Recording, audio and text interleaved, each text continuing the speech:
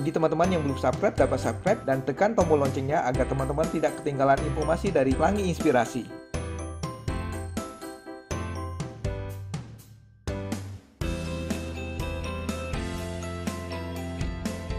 Hai, jumpa lagi di channel Pelangi Inspirasi.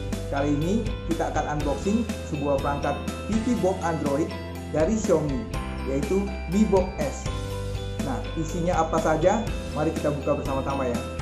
Mi Box S ini dilengkapi dengan Chromecast built-in, sehingga perangkat Mi Box ini dapat dikendalikan dari perangkat berbasis Windows, Android maupun iOS seperti iPhone maupun iPad. Perangkat ini juga sudah support 4K dan dapat menerima perintah suara menggunakan Google Assistant. Perangkat Mi Box S ini didukung banyak sekali aplikasi untuk menyaksikan aneka tontonan seperti Netflix, tapi harus berlangganan Netflix ya. Kemudian ada juga Prime Video, YouTube, Red Bull TV, dan bisa juga akses ke Google Play untuk install aplikasi ataupun game yang disupport oleh perangkat Mi Box S ini. Dan ada banyak channel-channel lainnya. Adapun spesifikasi hardware-nya, resolusi outputnya 4K kemudian CPU-nya Cortex A53 quad-core 64 bit GPU-nya Mali 450 RAM-nya 2GB ROM-nya 8GB dengan OS Android TV koneksi yang tersedia Wi-Fi dan Bluetooth 4.1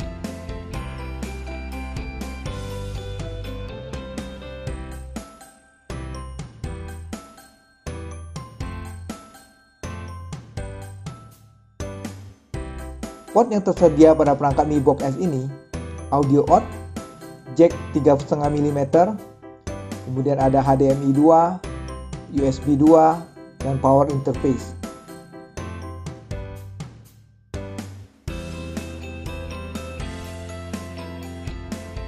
Pada boxnya kita mendapatkan perangkat Mi Box S, user manual,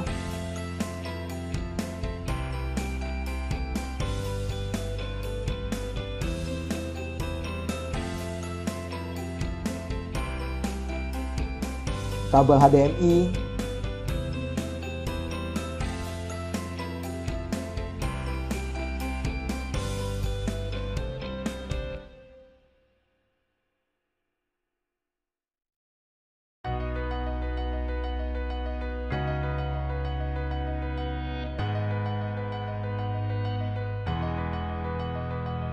power adapter,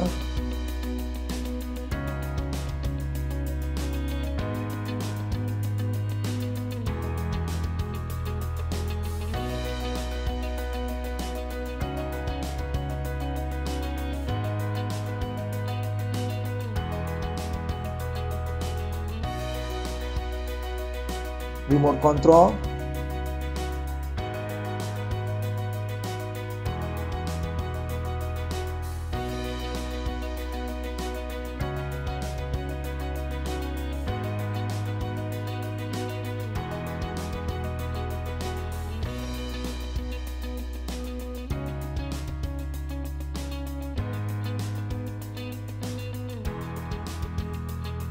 Untuk remote controlnya menggunakan baterai A3 yang kita harus beli sendiri terpisah.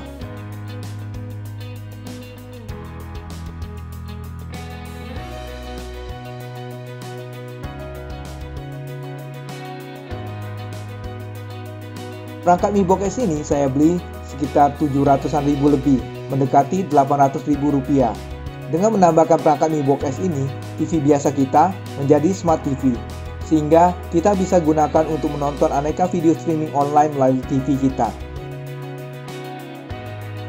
Dan bahkan kita juga bisa menginstal game Android yang disupport oleh Android TV ini, sehingga kita bisa gunakan untuk main game online melalui TV.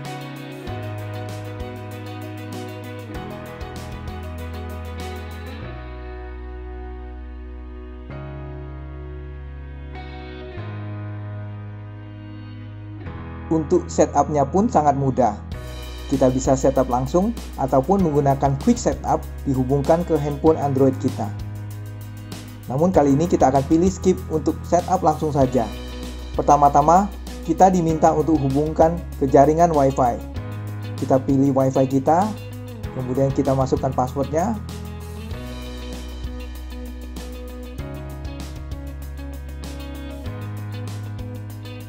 Kemudian kita oke kan, kemudian perangkat Mi Box akan terhubung ke WiFi. Setelah berhasil terkoneksi, maka kita bisa login menggunakan Google ID kita, yaitu dengan pilih sign in, ataupun tanpa login kita pilih skip.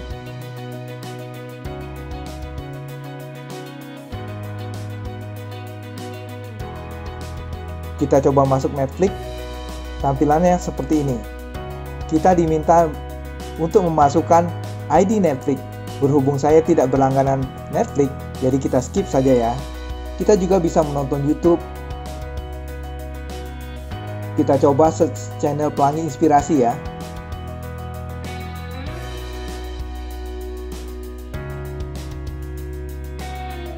Oke, kita akan klik Pelangi Inspirasi, kemudian kita masuk playlistnya,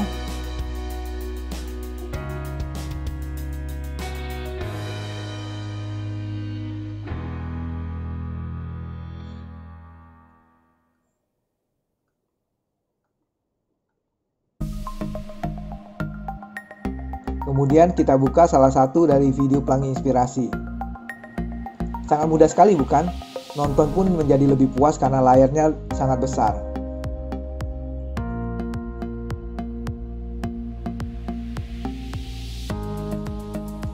Hai, pada video kali ini saya akan menjelaskan apa itu saham, apa saja produk-produk dan jasa perusahaan publik dalam kehidupan sehari-hari yang sahamnya dapat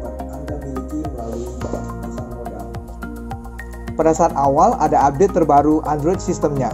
Kita update dulu supaya dapat versi terbarunya. Di mana salah satu update tersebut adalah keyboard Google-nya tadinya tidak muncul bila kita hubungkan keyboard ke USB.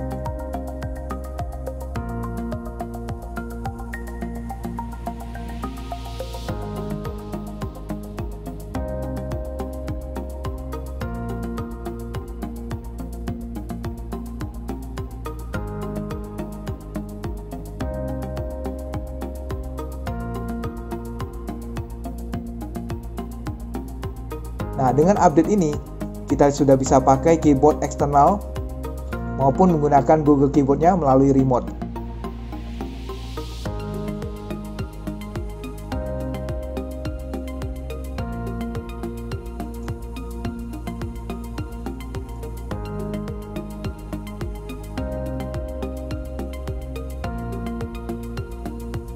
Adapun beberapa aplikasi lain yang bisa kita install antara lain iFlix, yaitu layanan video on demand yang menyediakan streaming film dan acara televisi melalui internet.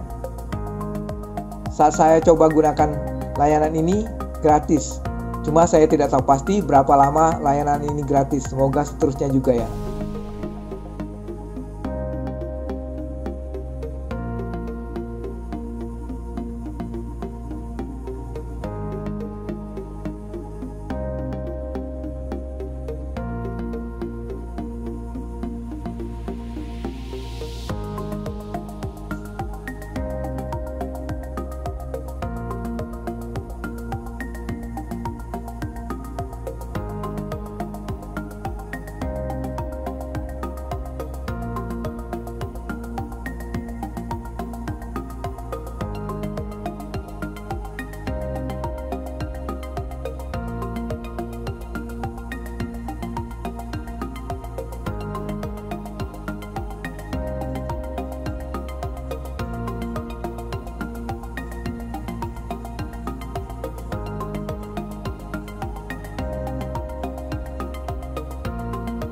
Kemudian ada juga layanan BTV yang kita bisa akses secara gratis juga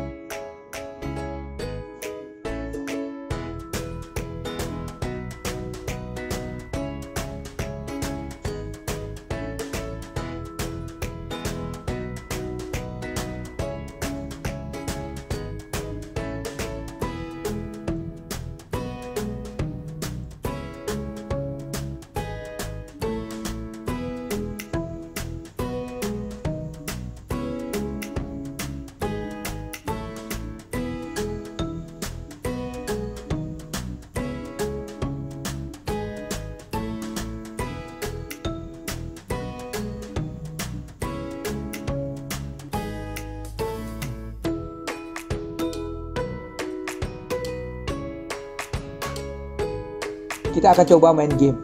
Saat ini saya baru coba install dua game. Untuk bermain game kita bisa gunakan remote control dari Mi Box-nya ataupun keyboard.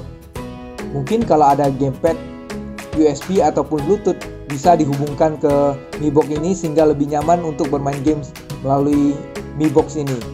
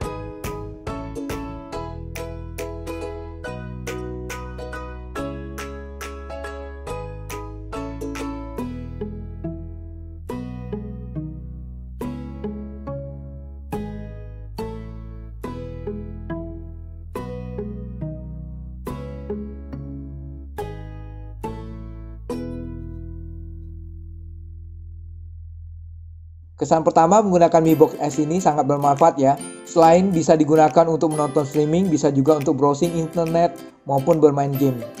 Meskipun saya nggak pernah main game sebenarnya. Semoga informasinya bermanfaat. Sampai jumpa di video berikutnya.